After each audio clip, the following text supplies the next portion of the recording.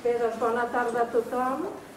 Eh, aquest acte forma part de la jornada que hem organitzat per homenatjar Domènec Guansé i sobretot per celebrar que una entitat com Òmnium Cultural del Tarragonès en el seu 50è aniversari de la seva la fundació, de la fundació de la SEA aquí a Tarragona doncs hagi cedit a la Universitat Rovira i Virgili aprofitant aquesta celebració, doncs aquest llegat que van rebre de Domènec Guansé, pensant que seria el lloc idoni perquè pogués ser consultat i perquè pogués tenir la màxima difusió, pogués estar ben preservat, etc.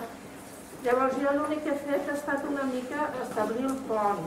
Quan va sortir la idea d'Òmnium del Tarragonès, ara formo part de la Junta d'Òmnium i per tant mi sentia doncs, molt corresponsabilitzada, doncs de seguida la, la presidenta, la Rosa Maria Codines, doncs va dir si podia parlar-ho a la URB, a veure com ho veien.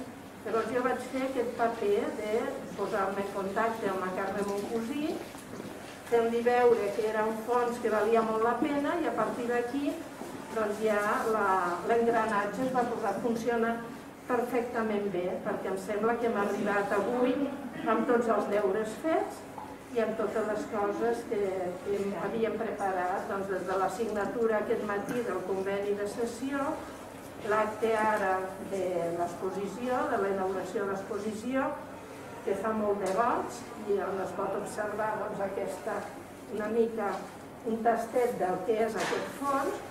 I després la conferència que tindrà lloc a les 7 de la tarda d'un estudiós de Domènec Guansé, com és l'Antoni Isaac. I per tant, res, només dir-vos moltes gràcies, vicerrectora, moltes gràcies a la presidenta d'Òmnium, Rosa Maria Cotines. Uh, encantada que estigueu aquí, Maria. On? Doncs ara dono la paraula a la presidenta d'Òmnium, quan vulgui, Rosa Maria. Molt bé. Bona tarda a, a tothom eh, vicerrectora, doctora Maria Bonet, coordinadora del CRAI del campus, senyora Carme Moncosí, eh, la comissària, que ara mateix hem vist que havia, sí, que era com aquesta figura que necessitàvem i ara l'anomenem, comissària, la Gemma Duarte, i eh, evidentment a la doctora Carme Oriol, que és professora aquí a la universitat, però també és vicepresidenta d'Òmnium del Tarragonès. Bé, és una gran satisfacció poder inaugurar aquesta exposició dels llibres que configuren la Biblioteca Domènec Guansé i que a partir d'ara, gràcies a un conveni que, com deia molt bé la Carme, hem signat aquest matí doncs, amb, la, amb la rectora, estarà per sempre aquí a la universitat. Quan Domènec Guansé va fer entrega a Òmnium de la seva biblioteca personal, no hi havia la universitat, no hi era. I probablement, probablement potser només hi havia la biblioteca que avui coneixem amb una altra dimensió i aquella biblioteca de la Caixa, que potser hi era, no? No ho sabem ben bé. Però en qualsevol cas, eh, quan un entrega el, els llibres, la seva biblioteca, i en aquell moment, doncs jo m'imagino que havia de ser una cosa preuada i estimada per ell. I eh, eh, jo els vull dir, els hi explico, aquesta celebració que Òmnium del Tarragonès ha fet de 50 anys doncs, eh, de l'entitat ens ha comportat a eh, fer una mirada retrospectiva de la tasca que ha desenvolupat aquesta, aquesta entitat durant aquests darrers 50 anys.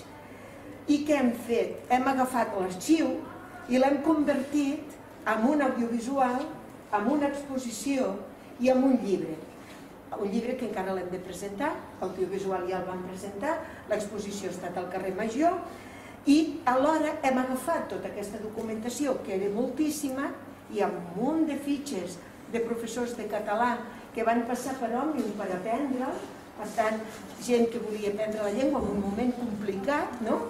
i l'hem cedit a l'arxiu de la ciutat.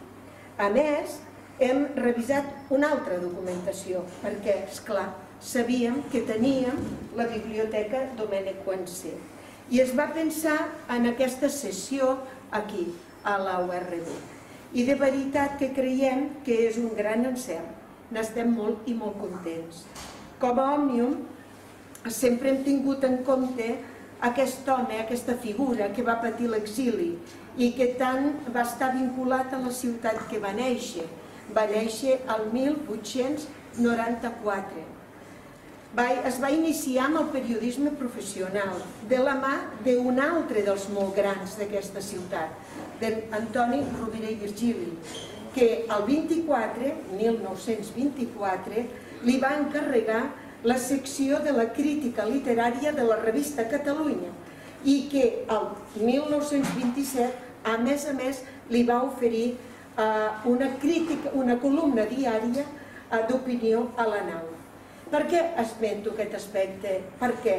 Perquè vull posar en consideració aquesta part de la biografia, perquè ens justifica encara més l'encert que hem tingut la nostra entitat d'agafar aquest fons i portar-lo a la Universitat Rovira i Virgili, perquè, perquè guardi aquesta estimada biblioteca seva. No?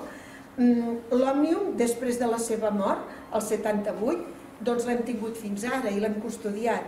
I fa emoció, molta emoció veure llibres, quan la Julieta i jo, que ens vam encarregar de posar-lo a les capses, i miràvem les dedicatòries manuscrites que aquí es poden veure i dèiem, mira, mira l'espriu, mira el foix, mira, clar, són no, mm, dels grans de casa nostra, aquests són dels grans. Per tant, ens va fer molta emoció. Eh, també vull afegir, vull afegir el fet eh, d'Òmnium amb el personatge, us vull explicar que va ser molt important perquè a l'inici dels premis literaris, el primer premi literari que fa Òmnium és el Premi Juvenil Domènec Guancé. Val?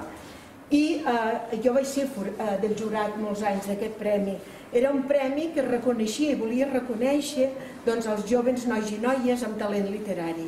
Precisament us explicaré una anècdota, perquè un dels guanyadors del Premi Domènec Guancé eh, va ser un noi que ara va ser el guanyador del Premi Pini Soler, que és l'Albert Pijuan de Calafell, amb Tsunami, que va escriure tan meravellosament bé aquell premi eh, Domènec Guancé de juvenil, va fer una narració bellíssima, encara la recordo, i eh, li, li vaig dir jo, li vaig dir, dic, escolta, vols dir que ho has fet tu, això? Perquè era preciosa. Diu, i tant, dic, doncs porta't al Pini Soler perquè guanyaràs. I ho ha recordat a tothom, perquè és com una premonició. Ha guanyat el Pini Soler amb el Tsunami i aquest llibre, a més a més, ha guanyat un munt de premis, que està supercontent. El Finestres li han traduït al castellà amb un èxit total.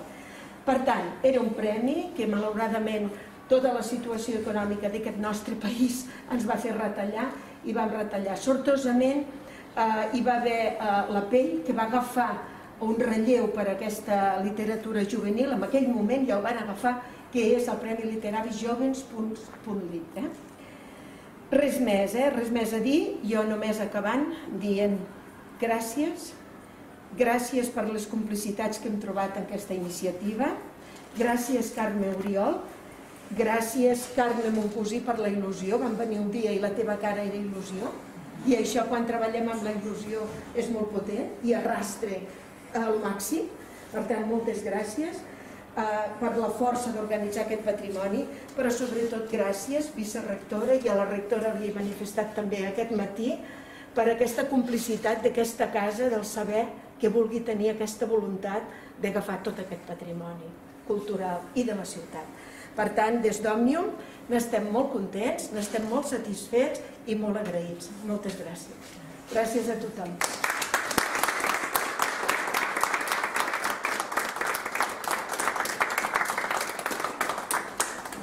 Sí. la vicerectora. Doncs em toca a mi dir algunes paraules i en primer lloc moltíssimes gràcies a Òmnium Cultural, moltíssimes gràcies perquè és evident que aquest fons és magnífic. Eh? Per tant, des de la Universitat Rovira i Virgili us agraïm l'esforç i la voluntat de traslladar-nos això. Passo també a fer algun altre agraïment i després faré dos o tres comentaris. Els agraïments van també i sobretot, primer per la Carme, la Carme Oriol, per haver estat sensible no? a aquesta possibilitat i acollir o, la idea i després parlar amb vosaltres, amb la, amb la Carme Moncosí, amb la Txó Serrius i també tu, Gemma Duarte, per tot el que has fet. També m'han comentat el Jaume Llambrí ha col·laborat i val a dir que tenim un personal totalment dedicat, entusiasta en aquesta casa i també crec que és importantíssim posar-ho de relleu. Eh? Per tant, la gratitud va tots vosaltres també, que sou el que, els que feu les coses possibles. Eh? Sense el vostre treball i sobretot, repeteixo, sense la il·lusió i l'entusiasme que teniu en el dia a dia, doncs això segurament no estaria aquí, o si més no, no estaria d'aquesta manera que fa molt de goig. Eh? Per tant, felicitats. I ara sí que, com que tinc la paraula, vull fer dos o tres reflexions. No? La primera va una mica, algunes són de fora i després ja em traslladaré a, a, a la persona no? de Domènec Guancé. Uh, la primera dir-vos bueno, que una biblioteca, no? el lloc on es guarden els llibres, es valora quantitativa i qualitativament. Es valora pel volum, perquè sempre com més llibres, més parcel·les del coneixement, però també i sobretot per la qualitat, per la qualitat d'aquests llibres. Aquest fons, en termes de nombre, bueno, és relativament modest, 700 i pico, però és d'una qualitat extraordinària. D'una qualitat extraordinària és evident que tots són llibres fora de catàleg, és evident que és en una llengua minoritària i que tot això doncs, és d'un valor, insisteixo, extraordinari. Si a més a més hi afegim que els primers llibres són del 19 i fa tot el recorregut vital, no? que aquí estan les vitrines, per tant, és una biblioteca personal que va més enllà del naixement, ell neix el 94, i arriba fins al 78, que és quan bueno, va traspassar. No? Per tant, fixem-nos com aquest recorregut vital, aquesta biblioteca personal, ens permet acollir llibres que estan, bueno, probablement, no diré que són peces úniques, naturalment que no, però que costa molt a vegades de trobar-los. I en un idioma doncs, que ha patit el que ha patit. També la trajectòria personal es veu clarament el que ha patit aquesta llengua, perquè és molt evident que als anys 30 hi va haver una, una bueno, no diré una eclosió, però un moment de, de, de, de, de publicació molt, molt vistós i després les coses doncs, van tindre un altre, un altre recorregut. No? Per tant, és un honor pel CRAI, pel CRAI de la Rovira i Virgili, acollir aquest fons, i passo a la segona idea, que eh, s'uneix a altres dos fons que tenim de català que són també de primer ordre. Eh, tenim el, el Vidal Campmany, que és un fons sí. d'un gran, gran nivell, i tenim també, ara estem incorporant el fons Martí, que és molt voluminós i també doncs, acull obres eh, en aquesta direcció, eh, doncs, de literatura catalana, crítica literària, eh, li, mm, eh, assaig, és a dir, tot allò que s'ha escrit amb, amb la nostra llengua. No? Per tant, també ens congratulem que estem construint una biblioteca de lletres catalanes, penso, molt destacada. Eh? No cal entrar en comparatius, però penso que això també és un valor afegit pels nostres estudiants, pels doctorants, per tots els treballs de recerca i també per la ciutadania de Tarragona.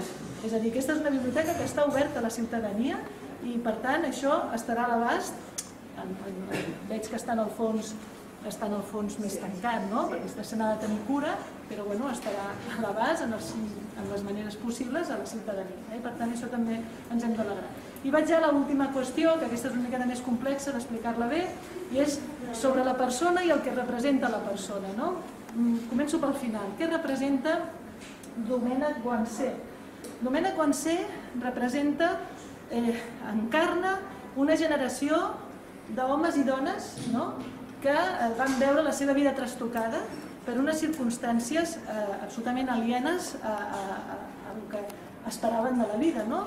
Faig esment no? l'aixecament del fracassat, probablement com diu Paul Preston, voluntàriament fracassat del general Franco, que va conduir a molta gent a l'exili i molts altres van ser jutjats, de tal manera que no sé si recordareu, ara fa un any o dos, que es van anul·lar 66.000 judicis. Eh? Vull dir que aquí estem en una situació, amb una persona que va tindre que afrontar una trajectòria vital bueno, no volguda, no volguda i, i traumàtica, val a dir-ho, eh? val a dir-ho perquè ell doncs, eh, bueno, era un intel·lectual, un preferit, una persona que neix a Tarragona l'any 94, que viu a Tarragona fins al 24, després se'n va a Barcelona, és eh, d'alguna manera, el, no diré deixeble, però man, té el mentor Rovira Virgili, per tant és una persona que té connexió amb el petit nucli intel·lectual que podia haver a Tarragona en aquell moment i tot aquest, eh, diguéssim, bagatge, se'n va a Barcelona, a la, a la gran ciutat té més possibilitats de fer altres coses i les fa, però de cop i volta el 39 se n'ha d'anar a França i després doncs, ja anirà a l'exili a França, Xile i crec que Argentina també, sí, també tornant també. a Barcelona l'any 63, quan ja començaven a tornar alguns d'aquests aquests exiliats, no? però, repeteixo, amb la vida totalment trastornada. Malgrat el trastorn, malgrat el, el trastorn, és evident que les lletres li van donar vida, li van donar vida i que els llibres és sempre eh, l'espai en què un pot créixer. Eh? I per tant, també des del punt de vista de, de, lo, que, de lo que signifiquen els llibres, no? doncs també ens permet veure que la trajectòria personal eh, bueno, ens mostra la, la vitalitat que hi ha en la literatura, la vitalitat que hi ha en el conèixer i que, malgrat el trastorn que acabo de dir, doncs, bueno, aquí veiem altres, altres llibres, no? Catalunya a l'exili, altres, altres preocupacions, però que tenen, repeteixo, que veure amb aquest interès pel coneixement, interès per les lletres i que eh, aquesta figura que ara tenim l'oportunitat de fer-li homenatge, doncs, eh, d'alguna manera representa i, com s'ha dit abans, doncs, forma part també d'uns focus intel·lectuals que hi va haver, que van ser molt actius, molt actius, que van ser apaivagats en un cert sentit per tota aquesta situació, però que des de l'exili i després en el retorn van fer possible la vigència, la vitalitat de la, de la llengua catalana en el seu sentit més, més podríem dir, més elegant, no? no? No és que s'hagués perdut, però és una llengua que va estar exposada a la persecució, o si més no, a la, a la prohibició en alguns llocs, i aquesta, aquesta gent, aquestes homes, aquests homes, aquestes dones van ser capaços de, de mantenir-ho eh, gràcies als seus, als seus interessos. No? Per tant, moltíssimes gràcies en el sentit de poder tenir aquesta obra d'un personatge de primera línia, de primera línia, i que d'alguna manera, més enllà, més enllà del valor, podríem dir, mm, biogràfic, penso que també té un valor, repeteixo, de que encarna, encarna moltes vides més anònimes i que van patir igualment no, tots els efectes de, de, de la depressió o de l'exili o del que, o del que va, va anar passant. Eh? Així que he aprofitat per fer aquesta petita reflexió, però em semblava que la figura s'ho mereixi. Per tant, li rendim també aquest homenatge des de la Universitat Rovira i Virgili. Gràcies.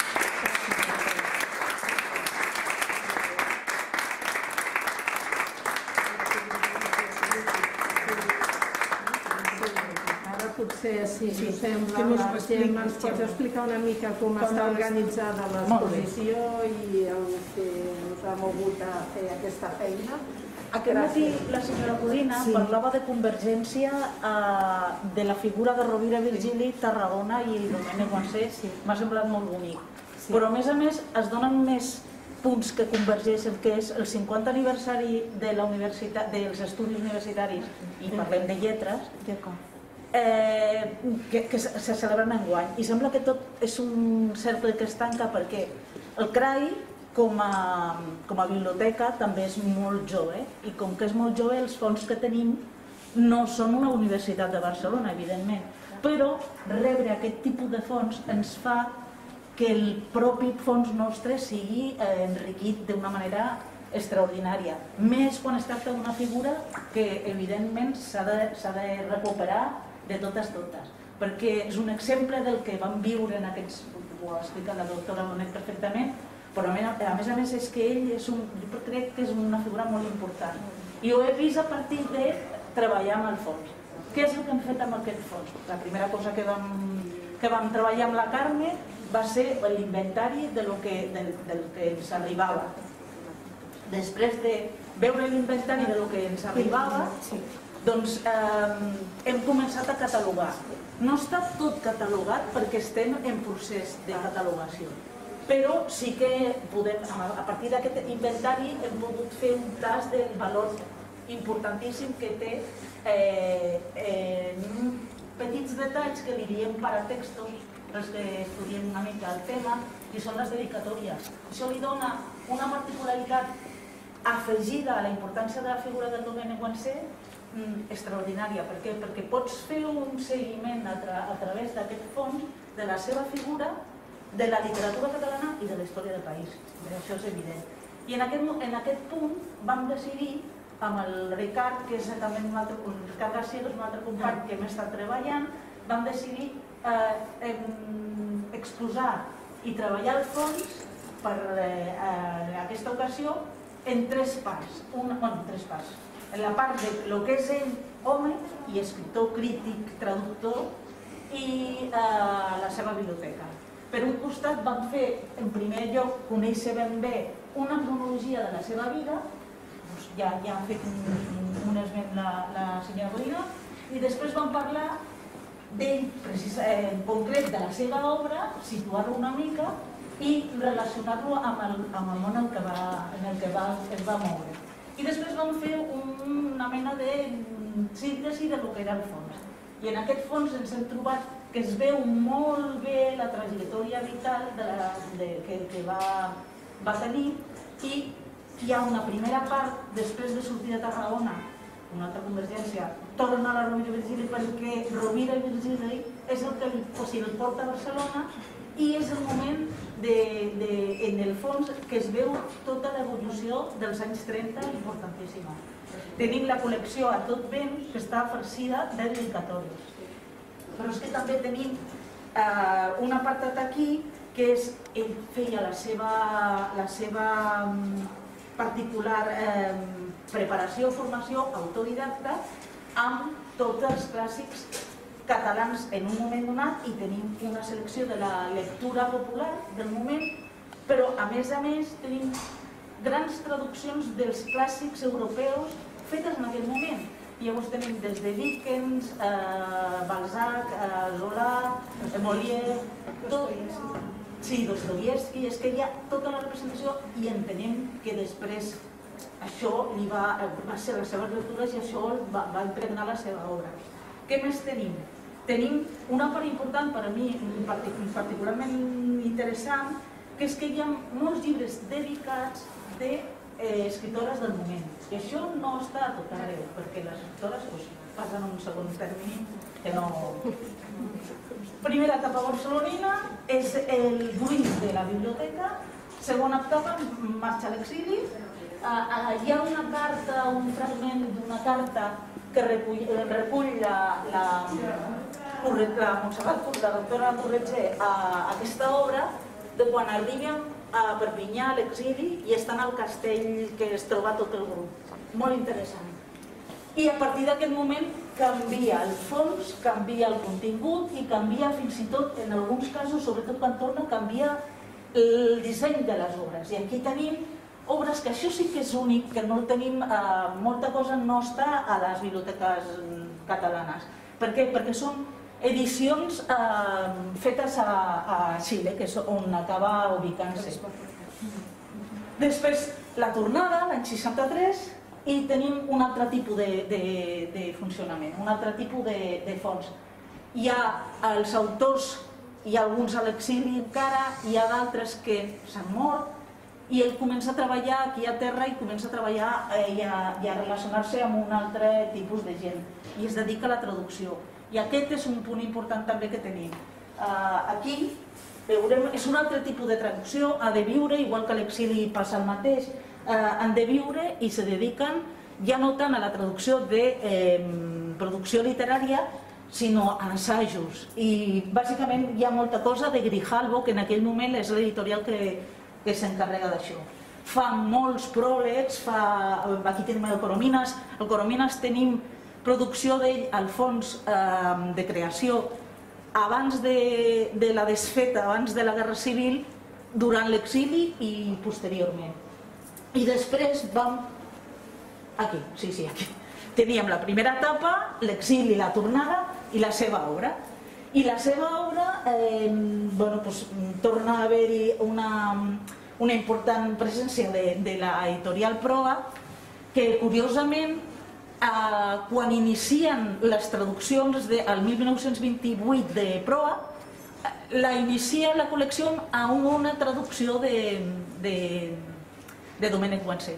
i llavors vam decidir fer això, vam treballar també una mica les imatges, crec que ha quedat molt, molt bonic el vídeo amb, en el que es rescata una mica més aquestes dedicatòries perquè una vegada el tractament físic d'aquest fons passi a les col·leccions especials que tenim a baix, encara es pugui recollir i veure a, a la pàgina web del CRAI, que en definitiva és on treballem i per què treballem.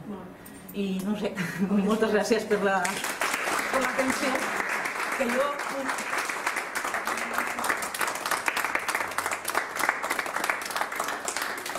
Porta també un ex-libris, tots els llibres. Sí, sí, porten el seu nom, sí. El seu nom Sí. marcat, eh? Sí. Com la cuidava aquesta biblioteca segurament. Sí, sí, sí, sí, la veritat. I hi ha d'altres detalls, tipus, eh, hi ha una traducció de Verlaine, de les poesies de Verlaine, que està molt llegida. I això també són petits detalls que t'indiquen una mica que ell va, de formació autodidacta, com dèiem, va aconseguir ser un veritable lletaferit, no? Això és, és, és molt curiós veure, doncs això, a banda de que la part emotiva de tra tractar amb llibres que algú ha algú com una figura com ell els ha tingut a les mans doncs és, és, és bonic. Un, un últim detall de tema Rovira Virgili. Sí. Eh, la, té dues obres que són molt importants, que és bueno, lit, retrats literaris i abans d'ara, que no estaven al fons i que no, no teníem a la biblioteca, no, que no van arribar amb el fons. I sí que van arribar amb els llibres de la Teresa Rovira, que és el llegat que tenim. Ah, I de la és, filla del Romer. eh, efectivament, i estan dedicats per ell. És el, el que deia, que hi ha moltes No diguis que això no és una cosa... És a dir, ell va a Barcelona perquè el Rovira Virgili li diu vine cap aquí. I ara la Universitat Rovira Virgili, que porta el Acull. nom, li acull al fons de la vida. Això la veritat és que és, és, és molt bonic. No Per això que no és bonic. ho hem disfrutat moltíssim. Oh, que bé. Jo, el Ricard, ha preparat una guia d'aquestes que fem de col·leccions, que encara no la tenim, en tot cas que la tenim a punt. I ficarem el vídeo aquest, també posarem el vídeo que fareu vosaltres d'Òmnium, si us l'envieu. Sí, I l'altre sí. dia recollirem tot això, d'aquest tipus de guies que fem, perquè eh, pugui consultar sempre i Bueno, tot això quedi reflectit. Molt bé, molt bé, és el millor lloc que podia estar. És el millor. Bueno, moltes gràcies, eh? Gràcies. Per la complicitat, per la il·lusió, per la força, per tot. Estem contents, eh? Sí, és un èxit. És un èxit, és un èxit. Bueno, com a Òmnium, doncs estem molt contents. Ara has incorporat el Zacarías, que també és Òmnium. La Julieta, bueno, hi ha gent que és sòcia d'Òmnium que està aquí, eh? Hi ha el Jesús. I sí, la Montse, la Montse, sí. Vull dir, a veure, Òmnium, allò que diem, eh? Òmnium vol dir tothom, som tots. Tots, sí, hi ha tots. Hi ha un percentatge bastant elevat. Bueno, en qualsevol cas, moltíssimes gràcies i estem molt contents, eh? Però moltes gràcies. Molt bé, molt bé.